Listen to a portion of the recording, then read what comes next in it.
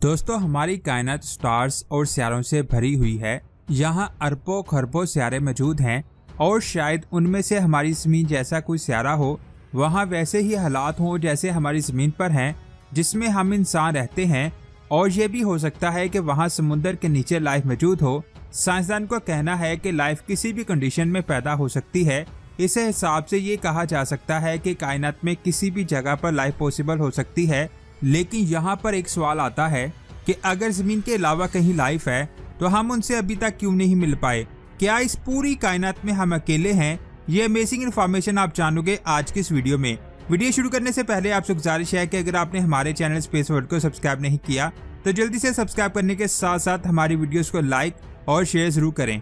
सबसे पहले बात करते हैं एक्स्ट्रा टेरिशियल लाइफ की, जिसका मतलब होता है ज़मीन के अलावा किसी दूसरे सियारे पर लाइफ फिर चाहे वो एक छोटा सा बैक्टीरिया हो, या हमारे जैसे इंसान, या फिर पौधे, जिन्हें एक्स्ट्रा टेरिशियल लाइफ कहा जाता है फर्मी पैराडॉक्स का आइडिया सबसे पहले एनेरिको फर्मी नामी एक साइंसदान के माइंड में आया था, जिसने कहा था कि हमारी कायनात में हमसे भी बहुत ज़्यादा एडवांस सिविलाइजेशन मौजूद हो सकती हैं, और ये भी पॉसिबल हो सकता है कि वो अपनी पूरी गलेक्सी को ही कंट्रोल करते हों, लेकिन हम उनसे अभी नहीं मिल पाएँगे।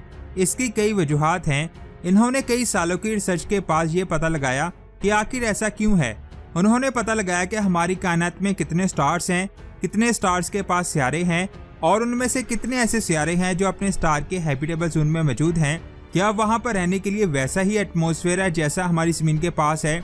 इतनी सारी इंफॉर्मेशन कलेक्ट करने के बाद उन्होंने ये पता लगाना शुरू किया कि एक सिविलाइजेशन को एडवांस बनने में कितने सालों का वक्त लगता है, और फिर उन्हें पता चला कि एक सिविलाइजेशन को बहुत ज़्यादा एडवांस होने में 10 लाख सालों से एक करोड़ सालों का वक्त लगता है और जिस गैलेक्सी में हम रहते हैं, उसकी उम्र तेरह अरब साल है, जिसका मतलब है कि बहुत ज़्यादा चांसेस हैं कि हमारी ही गैलेक्सी में ऐसे बहुत सारे सियारे मौजूद होंगे। यहाँ एलियंस रहते हैं, लेकिन यहाँ फिर वही सवाल आता है कि अगर कायनात में एलियंस मौजूद हैं तो हम उनसे क्यों नहीं मिल पा रहे? इसकी कई वजूहत हैं। सबसे पहले बात करते हैं दी ड्रेक एक्वेशन की। ये भी बिल्कुल फर्मी पैराडॉक्स की तरह ही है, लेकिन इसमें ज़्यादा थ्योरीज की जगह ज़्यादा दिमाग और मैथ का इस्तेमाल किया गया है। हमारी गैलेक्सी एक स्पायरल गैलेक्सी है, जिस कायनात को हम देखते हैं, उसमें ऐसी 100 अरब गैलेक्सी मौजूद हैं।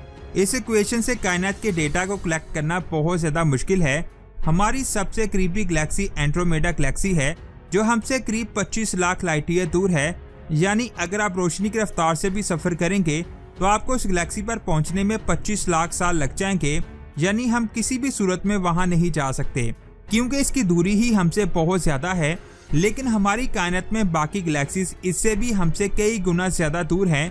यहाँ हम कभी जाने का सोच भी नहीं सकते। इन सब चीज़ों को देखते हुए साइंसदान का कहना है कि हम कायनत में बहुत ज़्यादा अकेले हैं।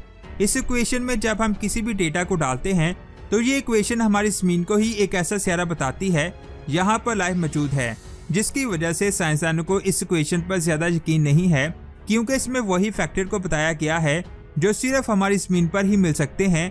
जैसे हमारी ज़मीन का सूरज के हैबिटेबल जोन में होना, हमारी ज़मीन के चाँद जैसा चाँद होना, और हमारी ज़मीन के बराबर साल और दिन रात का होना। ये बात आप जान लें कि हर सियारे पर ऐसी कंडीशंस नहीं हो सकती, जैसे कि आप सबको पता है कि ज़मीन हमारे लिए बहुत ज़्यादा यूनिक है लेकिन हमारी कायनत में ऐसे बहुत सारे सियारे हो सकते हैं जो हमारी ज़मीन से बेहतर हैं। हमारे पास अभी इतने एडवांस टेलीस्कोप नहीं है, जिसकी वजह से हम किसी भी सियारे को देखकर ये अच्छे से पता नहीं लगा पाते कि वो सियारा हमारी ज़मीन जैसा है या नहीं। लेकिन फिर भी हमारी कायनत में ऐसे बहुत सारे सियारे मौजूद होंगे, जिनके पास बिल्कुल हमारी ज़मीन जैसा ही एटमोसफेयर और सूरज होगा इसके बाद बात करते हैं इंटरस्टेलर कॉलोनाइजेशन की। इस कंसेप्ट के नाम से ही पता चलता है कि हमारी कायनात में ऐसी बहुत सारी एलियन सिविलाइजेशन हो सकती हैं, जो इंटरस्टेलर कॉलोनाइजेशन करने के काबिल हों, यानी वो किसी और सियारे पर अपनी बस्ती बसाने के काबिल हों। ये सेम उसी तरह है जिस तरह हम मार्स पर जाने का सोच रहे हैं। साइंसदान का कहना है कि ऐसी बहुत सारी एलियन सिविलाइजेशन हो सकती हैं, जिनके पास ऐसी टेक्नोलॉजी हो, जिससे वो हमारी ज़मीन पर आ सके, लेकिन हम उनसे कभी भी नहीं मिल पाएँगे।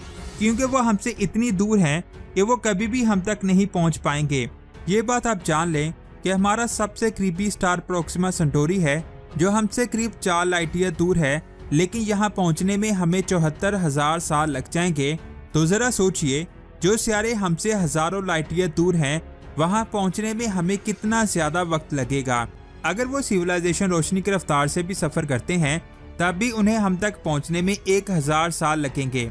अल्बर्ट आइंस्टाइन का कहना था कि कायनत में कोई भी चीज़ रोशनी से तेज ट्रेवल नहीं कर सकती। इसीलिए ऐसा कहा जाता है कि उन सिविलाइजेशन को हम तक पहुँचने में ना जाने कितने साल लग जाएँगे।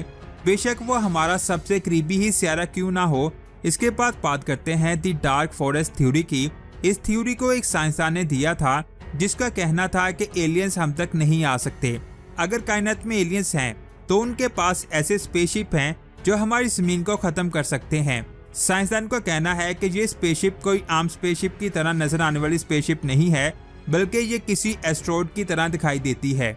ऐसे ही एक एस्ट्रॉइड पर साइंसदान को शक हुआ था, क्योंकि वो इस तरह बिहेव कर रहा था जैसे कोई उसे कंट्रोल कर रहा हो।